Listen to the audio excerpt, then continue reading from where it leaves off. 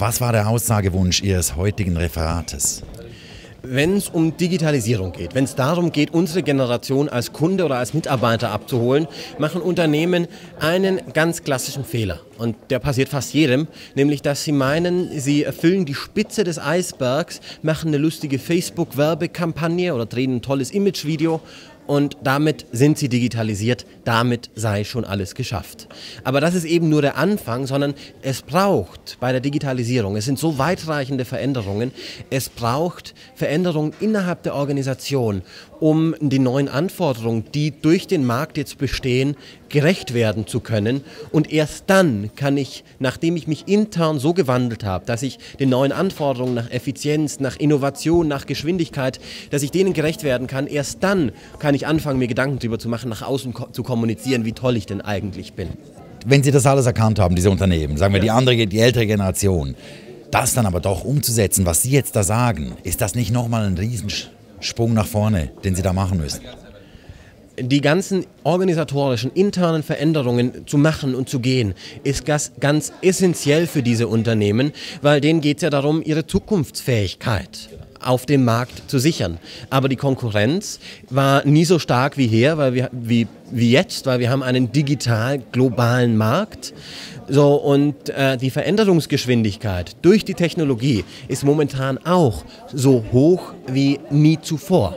Das heißt, wenn ich jetzt als Unternehmen mit meinen alten Rezepten anfange, mich zu verändern, einen Change-Prozess zu starten, dann bin ich in zehn Jahren irgendwo angekommen, was dahin schon wieder zehn Jahre alt ist und vollkommen veraltet.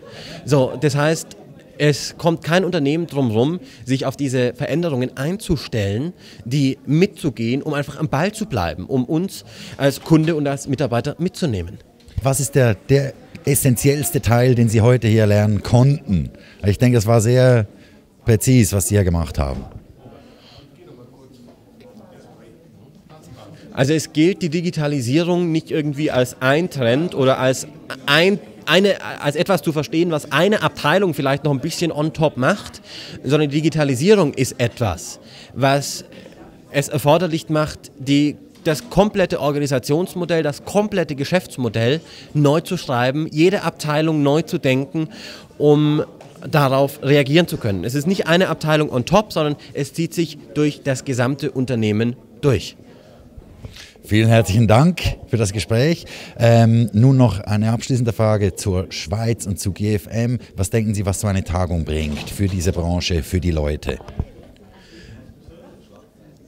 Es stellt sich ja schon die Frage, warum im Zeitalter von Online-Kursen und Webmeetings man noch solche Veranstaltungen wie hier braucht. Aber es ist dann eben doch nicht zu verachten. Das echte persönliche Miteinander, das Networking, so viele Leute, die man irgendwie kennt, wiederzutreffen und auch direkt im persönlichen Austausch mal eine Frage an die Referenten richten zu können. Deswegen wird es solche Veranstaltungen, glaube ich, noch lange geben.